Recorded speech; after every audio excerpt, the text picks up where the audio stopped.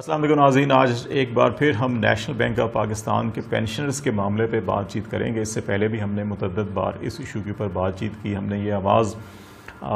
Farmer सबका दौरे हुकूमत में फाइनेंस मिनिस्टर शौकत तरीन साहब थे, उन तक भी पहुँचाई। इससे पहले जस्टिस गुलजार साहब चीफ जस्टिस थे, उन तक भी पहुँचाई। लेकिन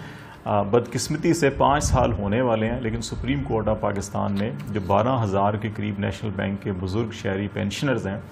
उनकी जो पेंशन में इजाफे, पेंशन फार्मूले से मुतल जो केस है, उसमें नेशनल बैंक इंतज़ामिया की जो नज़रसानी की दरख्वास्त है, वो पेंडिंग पड़ी हुई है। ना उसकी समात हो रही है, ना उसके ऊपर कुछ स्टे ऑर्डर जारी हुआ है, लेकिन इसके बावजूद जो बैंक इंतज़ामिया है, वो नेशनल बैंक ऑफ़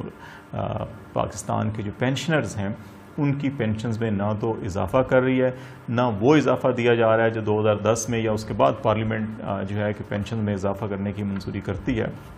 वो इजाफा भी नहीं दिया जा रहा। और फिर जिस फार्मूले को हाई कोर्ट के अंदर चैलेंज किया गया था, बैंक इंतज़ामिया की जानब से जो पेंशन का जो सेवेंटी परसेंट फार्मूला है, उस पर लाहौर हाई कोर्ट के सिंगल बेंच ने, फिर उसके बाद डबल बेंच ने फैसला दिया, फिर उसके बाद सुप्रीम कोर्ट ऑफ़ पाकिस्तान के तीन रुकनी बेंच ने जो है कि वो फैसला जो है वो पेंशनर्स के मौक़ के हक में जारी किया। लेकिन इसके बावजूद उस तीन रुकनी बेंच के फैसले के बाद नेशनल बैंक इंतज़ामिया ने रिव्यू पटिशन फ़ाइल की सुप्रीम कोर्ट में जो अभी तक पड़ी हुई है और चार साल, नौ माह हो चुके हैं उस रिव्यू पटिशन की अभी तक समाप्त नहीं हुई। अक्टूबर 2017 में ये नज़रसानी की पटिशन फ़ाइल की गई थी। उसके बाद से अब तक जो पेंशनर्स एक्शन कमेटी है नेशनल बैंक ऑफ़ पाकिस्तान की उसके इलामिया के मुताबिक और उनके फराम करदा अदाद शुमार के मुताबिक को तकरीबन 700 बुज़ुर्ग शहरी जो पेंशनर थे नेशनल बैंक ऑफ़ पाकिस्तान के, वो इस इंसाफ की राह तकते तकते इंतकाल कर चुके हैं। और ये बहुत बड़ा अलमिया है पाकिस्तान के अंदर के जो बुज़ुर्ग शहरी हैं, उनको कॉन्स्टिट्यूशन ऑफ़ पाकिस्तान में भी, तमाम मुल्की कवानीन के अंदर भी, और तमाम जो पब्लिक प्लेसेज हैं, जहाँ पर पब्लिक डीलिंग की जाती है, वहाँ पर भी बुज़ुर्ग शहरीों को तरजीह बुनियादों के ऊपर फैसिलिटेट किया जाता है और ये बाइंडिंग है। स्टेट बैंक ऑफ़ पाकिस्तान के अहकाम है, तमाम बैंकों के अंदर भी अगर पब्लिक डीलिंग के हवाले से कोई भी बुज़ुर्ग शहरी आते हैं तो उनको लाइन में नहीं खड़ा किया जाता, उनको मुनासिब जगह दी जाती है बैठने की, उनको इज़्ज़त तकरीम से डील किया जाता है। लेकिन नेशनल बैंक ऑफ़ पाकिस्तान, जो एक कौमी बैंक है और एक बड़ा ज़िम्मेदार बैंक, जिसका नेटवर्क ना सिर्फ़ मुल्क भर में है, मुल्क से बाहर भी है, और जिसके अपने एसेट्स और उसके जो प्रॉफिट है वो भी अरबों खरबों के अंदर है उस बैंक के अंदर अपने ही मुलाजमीन के साथ यूँ सतीली माँ जैसा सलूक जो है, ये बड़ा अफसोसनाक है। और सबसे बड़ी बदकस्मती ये है कि ये जो केस है सारा का सारा, इसके अंदर एक तो सुप्रीम कोर्ट की तरफ़ से यकीनी तौर के पर वहाँ पर बहुत से और इतने कौमी कॉन्स्टिट्यूशनल लीगल और अपीलों के मसाइल हैं। ये शायद उनके लिए छोटा मसला है। तीन चीफ जस्टिस साहिबान जो है कि वो रिटायर हो चुके हैं। अभी चौथे चीफ जस्टिस साहब हैं। इस मुद्दत के दौरान जो ये पेंडिंग के अंदर केस पड़ा हुआ है। इन तमाम जजेस साहिबान को सुप्रीम कोर्ट ऑफ़ पाकिस्तान को सोचना चाहिए कि एक दिन उन्होंने भी रिटायर होना है और फिर खुदा न खास्ता उनके साथ अगर ऐसा सलूक हो तो वो कैसा उनके फील होगा। इस वक्त ये जो बुज़ुर्ग शहरी हैं ये बेशतर जो ये तकरीबन 11 से बारह हज़ार के करीब पेंशनर्स हैं, इनकी उम्रें उस किसी की सत्तर, अस्सी, नब्बे, पचानवे, सौ साल। इस एज के अंदर जो है कि ये अदालत की तरफ़ इनकी नज़र लगी हुई और अदालत भी ऐसी जो पाकिस्तान की सबसे बड़ी अदालत है, जिसका फ़ैसला तमाम लोअर कोर्ट्स के लिए हाई कोर्ट्स के लिए जो है कि वो कानून का दर्जा रखता है और ये बदकिस्मती ये है कि सुप्रीम कोर्ट के अंदर जो रिव्यू पटिशन फ़ाइल हुई उसके ऊपर स्टे ऑर्डर भी जारी नहीं किया गया लेकिन इसके बावजूद बैंक इंतज़ामिया ये बहाना बना करके जो अच्छा ये सब जुडिस है मामला तो जब तक फैसला नहीं होता तो इसका जो इजाफा लागू नहीं किया जाता। ये मेरा ख्याल है सरासर ज़्यादती और जुल्म है। इसके ऊपर मौजूदा हुकूमत को शबाज शरीफ साहब को मफ्ता इसमाइल साहब को आ, जो है कि इसका नोटिस लेना चाहिए। चीफ जस्टिस पाकिस्तान उमर बंदयाल साहब भी अगर इसके ऊपर थोड़ा सा नोटिस लें और नेशनल बैंक ऑफ़ इंतज़ामिया को हुक्म दें कि वो इंश्योर करें कि उनके जो कौंसल्स हैं, वकील हैं, वो आएँ। इसमें बैंक इंतज़ामिया की तरफ़ से और जो सुप्रीम कोर्ट के हुकाम है, उनकी तरफ़ से ये कहना है कि इसमें मुतद पार्टीज़ हैं और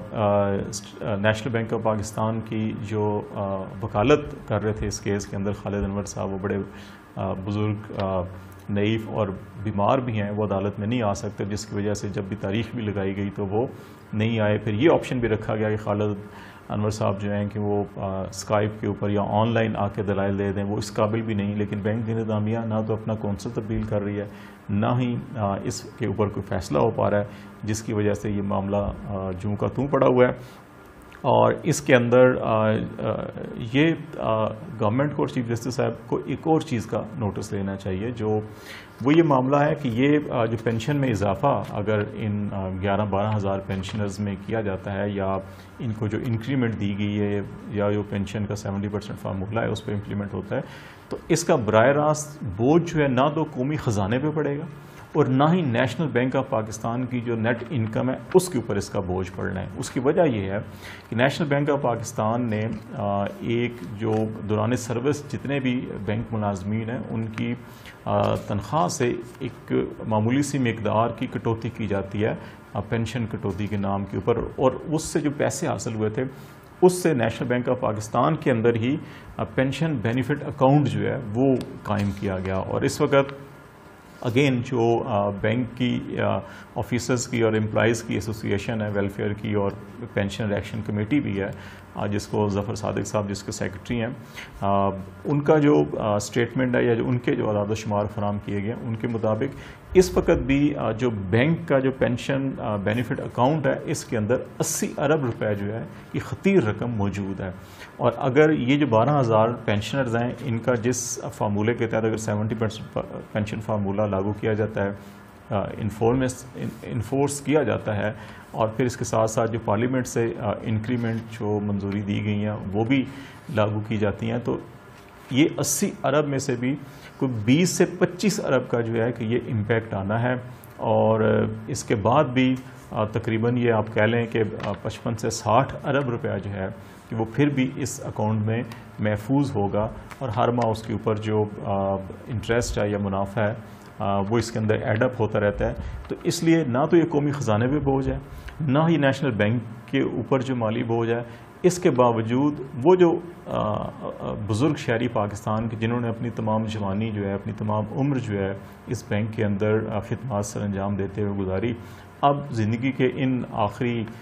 याम में कोई पता नहीं होता, ज़िंदगी जो है कि बच्चे जो हैं, नौजवान भी जो हैं कि जब उनका वक्त मुकर होता है, वो चले जाते हैं। लेकिन ये जो सत्तर, अस्सी नबे साल के जो बुज़ुर्ग शहरी हैं इस वक्त इनको आराम की ज़रूरत है, जहनी, जिसमानी, फ़िक्री, हर एतबार से इनको जो है कि सुकून की ज़रूरत है। लेकिन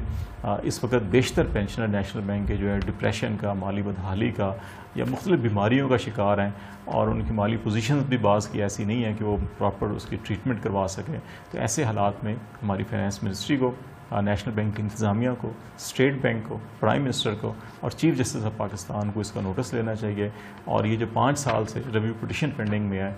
इसको खुदारा कोशिश कीजिए, जल्द से जल्द निपटाया जा सके। और इन तमाम बारह हज़ार पेंशनर्स को उनका जो कानूनी, माली, इखलाकी आइनी हर एतबार से ही उनका हक बनता है, उनको मिलना चाहिए।